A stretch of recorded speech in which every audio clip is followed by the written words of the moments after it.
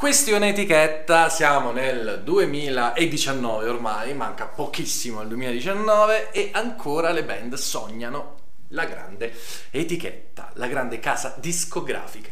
Sognano addirittura, alcuni sognano anche le major, cioè in tanti, e sognano quindi il mondo major. E, questo sogno li porta a partecipare a talent, a partecipare a Sanremo Giovane, a partecipare a tutte queste cose qui che ti stritolano. Come dice il titolo di questo video che mi piace molto, lavora da solo o con una piccola label, ma mai con una grande etichetta. Non so se dirisce proprio così, vedrò come lo titolerò, però il succo è questo. Ovviamente il consiglio questo consiglio vale per chi è all'inizio, ok? Perché in un conto va bene la grande etichetta, tutti hanno bisogno ad un certo punto di avere a che fare con dei professionisti che ti possono far fare il salto, professionisti seri, ok? Però, però, devi anche essere pronto a quel momento e non sei nato pronto. Allora, facciamo le dovute premesse, sto parlando appunto di band che si trovano all'inizio, no? E di band che magari hanno bisogno di maturare, dobbiamo fare quindi, dobbiamo togliere tutte quelle eccezioni di botti clamorosi che ci possono essere, mm, e va bene. Ma per la maggior parte delle band che, o di artisti, di cantautori che scrivono progetti inediti, ok?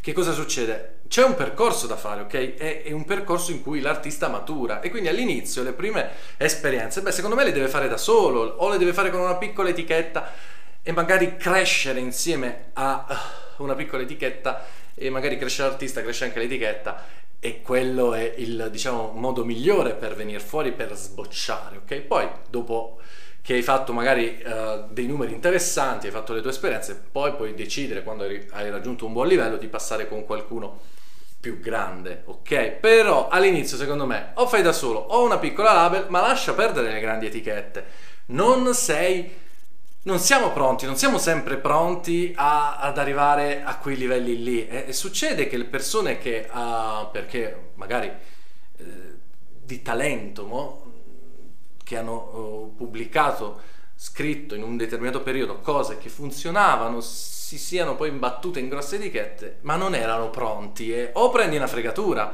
perché non conosci neanche bene il settore o ti bruci, ok? Quindi è anche importante il momento in cui entrare in una grande etichetta. Quindi all'inizio state rilassatevi. Poi voglio dire, questo discorso ha ancora senso, le cose sono molto cambiate. Ah, paradossalmente ci sono progetti che uh, non, non, pensano proprio né alle grandi etichette, non pensano proprio né a Sanremo, non pensano proprio uh, ai talent, ma lavorano direttamente sui social e creano grossi, grossi, grossi uh, pubblici, diciamo, no? De, cioè si fanno amare da tantissimi, tantissimi fan attraverso i social, ok? Ragazzi, ho fatto anche un video, prendete l'esempio che calza sempre a pennello, io ricordo un'intervista allo Stato Sociale in cui gli veniva detto se chiedevano uh, i cazzo, ve li ricordate? Non so se... sì, è uscito anche il disco da poco. Comunque, vi ricordate i cazzo a Sanremo? I cazzo a Sanremo uh, ci sono andati come giovani, ok? E non è stata una mossa proprio intelligente, secondo me. E in, un, in quel periodo chiesero allo Stato Sociale se anche loro um, avevano mai pensato di andare a, a Sanremo Giovani. E la risposta è stata perché Sanremo Giovani? Al massimo andiamo come big.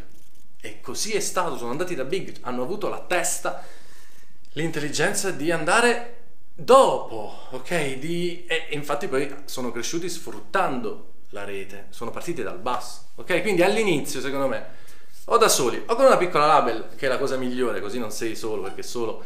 Però una piccola label che ti aiuta con quello che può, ok? Però è gente seria appassionata, perché di solito una piccola label nasce per passione, non per grandi uh, mira espansionistiche di conquista del mondo, diventare ricchi, no, è una passione e poi ci sono etichette che sono esplose e quindi quella passione poi è diventata un lavoro. Quindi piccole etichette magari vedere chi in quel momento è abbastanza appassionato, si muove bene, sceglie bene le band, riesce a creare un bel team.